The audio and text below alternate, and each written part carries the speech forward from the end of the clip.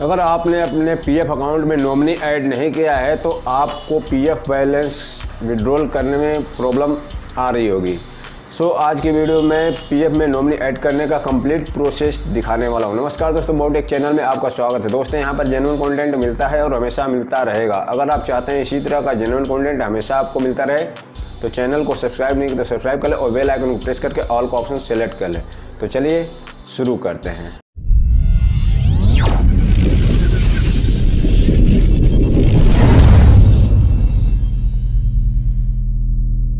PF में nominee add करने के लिए अपने मोबाइल फ़ोन में एक ब्राउज़र ओपन कर लेना है। उसके बाद यहाँ थ्री डॉट पे क्लिक करेंगे।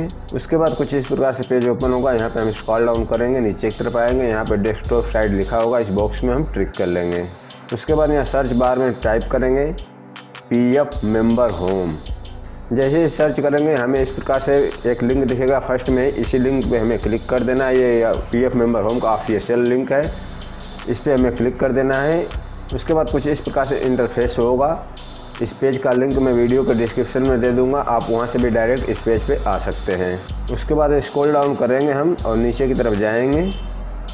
यहाँ पे ऑप्शन देखेंगे आप यूएन पासवर्ड और कैप्चा यहाँ पे हम अपना यूएन नंबर एंटर करेंगे। यहाँ पासवर्ड एंटर करेंगे और इस कैप्चा को हम यहाँ पर एंटर करेंगे और यहाँ साइन इन पर क्लिक करेंगे। उसके बाद कुछ इस प्रकार से पेज ओपन हो जाएगा। यहाँ पे आप देखेंगे ये पॉपअप आ चुका है। इसको हम यहाँ कट कर लेंगे या फिर यहाँ लेटर पर क्लिक कर देंगे। उसके बाद हम यहाँ मैनेज पे क्लिक करेंगे। यहाँ पे आप देखेंगे, यहाँ पे ऑप्शन दिया हुआ है ई नोमिनेशन यहाँ पे हम ई नोमिनेशन पे क्लिक करेंगे। उसके बाद कुछ इस प्रकार से पेज ओपन हो जाएगा। यहाँ पे ऑप्शन देखेंगे। हैविंग फैमिली अगर आप अपने फैमिली मेंबर में से किसी को अपने नॉमिनी में ऐड करना चाहते हैं तो हम यहाँ इस पर क्लिक करेंगे। उसके बाद इस प्रकार से पेज ओपन हो जाएगा। यहाँ पे हम नॉमिनी का आधार नंबर एंटर करेंगे। यहाँ पे नॉमिनी का नाम एंटर करेंगे। यहाँ पर नॉमिनी का डेट ऑफ़ बर्थ एंटर करेंगे। उसके बाद यहाँ पर नॉमिनी का जेंडर एंटर करेंगे। यहाँ नॉमिनी से रिलेशन क्या है वो हम सिलेक्ट करेंगे। उसके बाद अगर नॉमिनी का एड्रेस हमारे एड्रेस से सेम है तो हम यहाँ सेम मेंबर्स पे क्लिक करेंगे इस बॉक्स पे।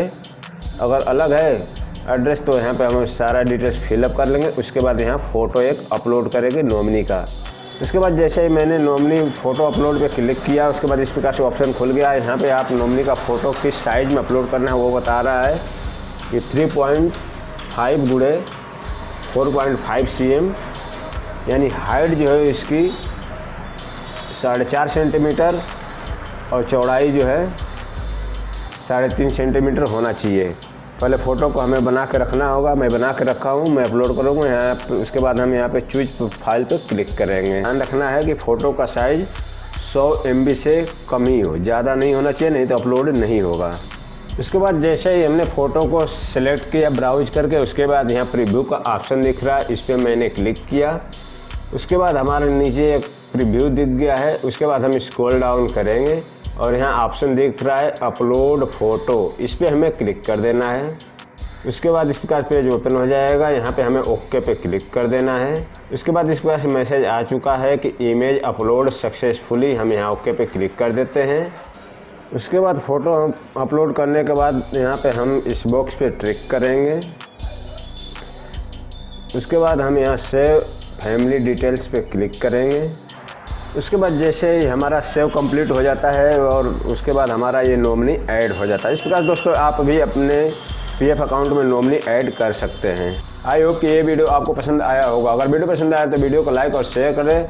अगर आप चाहते हैं इसी तरह का जनरल कंटेंट हमेशा आपको मिलता रहे तो चैनल को सब्सक्राइब नहीं किया तो सब्सक्राइब कर लो और बेल आइकन को प्रेस करके ऑल का ऑप्शन सेलेक्ट करें। मैं फिर अगले वीडियो में, तब तक के लिए जय हिंद, वंदे मातरम।